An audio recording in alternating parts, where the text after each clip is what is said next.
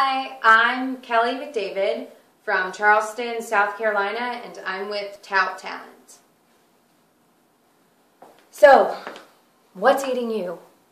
You graduated with us today too, didn't you? Yeah, I just have a few family issues. Evidently, graduation means it's time to grow up and start a career or something. I haven't seen you around. You graduated with us?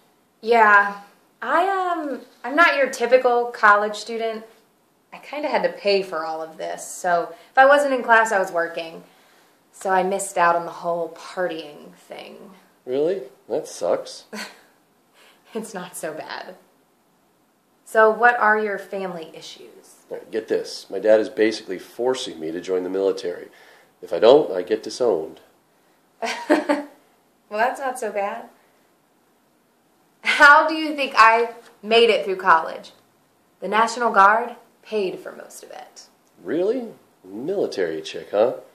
That is kind of hot, but you don't seem to be the type. My dad would love you. Well, it was good for me.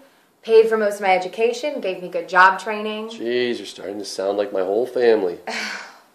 Sorry. But if you have to join, you might as well think about the National Guard. I mean, you can join part time and still make your family happy. I just made it into their new officer training program. The classes start in a few weeks. Really?